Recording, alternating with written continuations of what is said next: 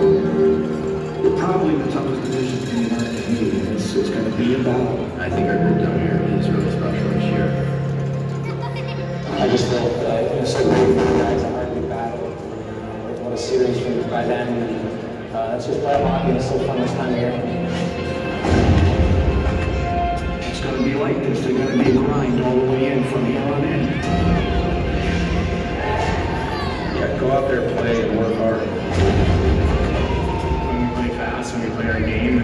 Our own pucks, uh, we're tough to beat. Game five has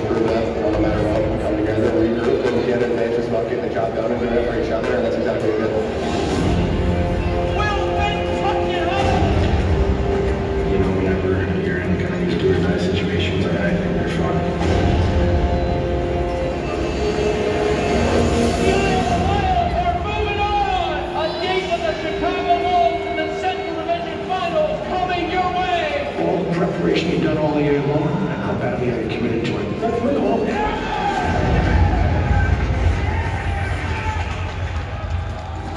You guys can win one series. Can you win another one? Oh, here we go.